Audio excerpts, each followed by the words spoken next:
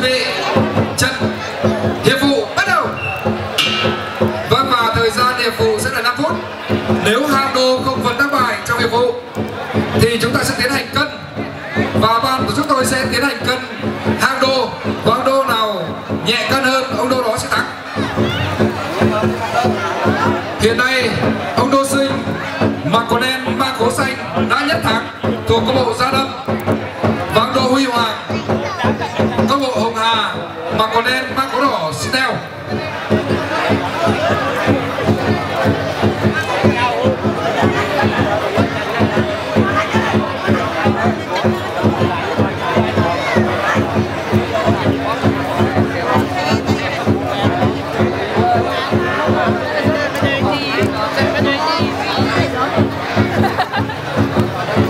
Sau cái vận này ở lèo số 22 Chúng tôi xin mời Đô Minh Hiếu và Đô Văn Hậu chuẩn bị lên sân thi đấu.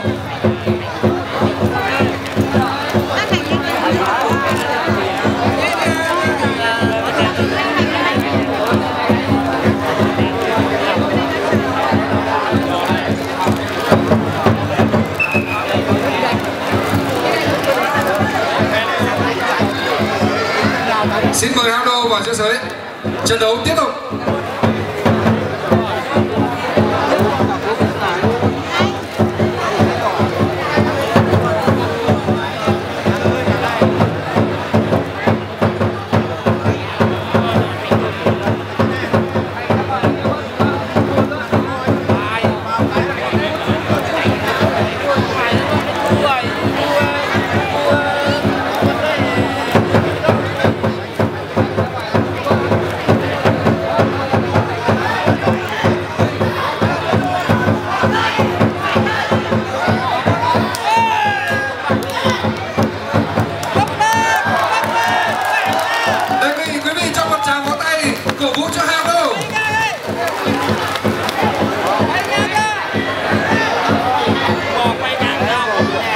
Một keo vật rất ngang tài, ngang sức.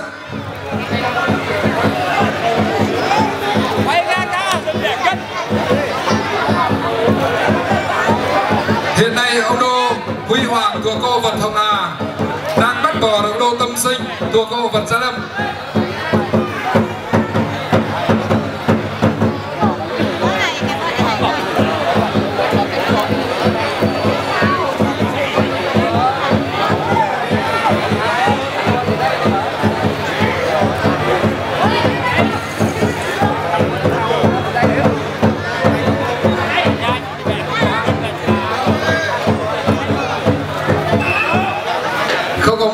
Nào xin mời hang đô đứng dậy.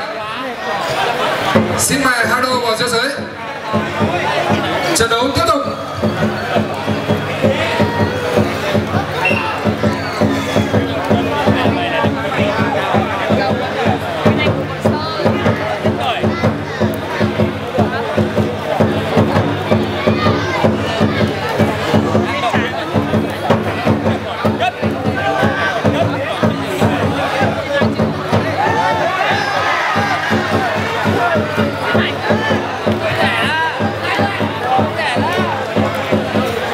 Đại biểu, thưa toàn thể bà con nhân dân và quý khách thập phương thân đến, theo truyền thống vật xã Quế từ cổ xưa, hàng năm xã Quế tổ chức giải vật cầu rồng nhận được sự hưởng ứng của bà con nhân dân và quý khách thập phương về dự.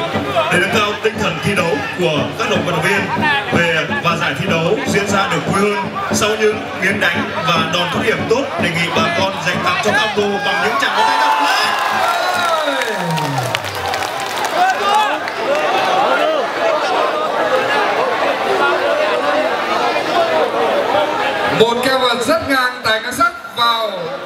4 phút 20 giây, hiệp vụ bằng một miếng bất ngửa, ông đô tâm sinh thuộc câu bộ gia lâm đã thi thắng xin quý vị nhiệt liệt hoan nghênh.